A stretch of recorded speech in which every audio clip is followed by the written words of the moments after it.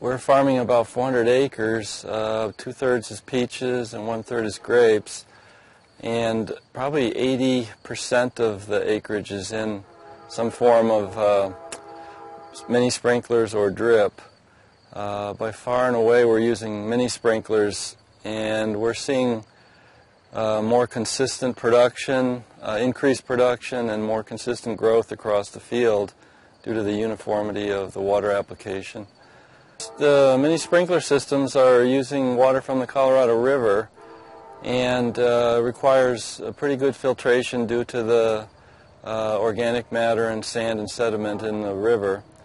Usually there's a pre-filter before the pump that catches the bigger organic matter and then we're relying on different uh, filters after the pump uh, to, to keep the water clean enough. The filtration has to be matched to the size of the sprinkler heads to avoid problems with plugging uh, the sprinklers.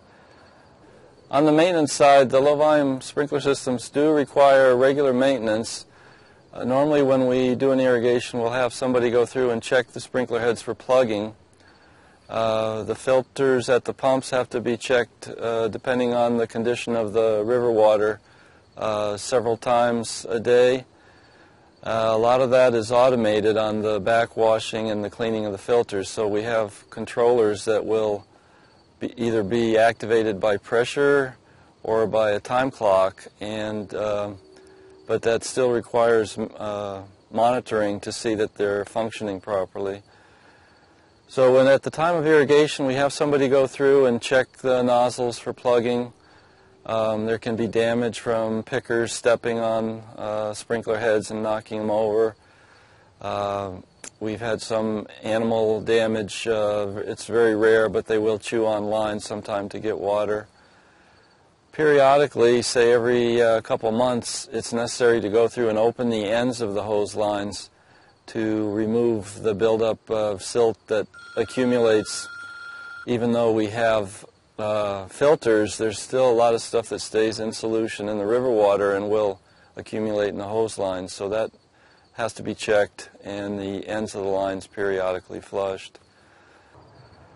Well, we can vary uh, the length of the irrigation, and we're doing that, um, you know, normally running things 24 hours in the early season to fill the soil profile with moisture. And then during mid-season, July and August, due to the stage uh, the fruit development is at, we're reducing sprinkler times to 12 hours or reducing uh, number of irrigations, lengthening the frequency.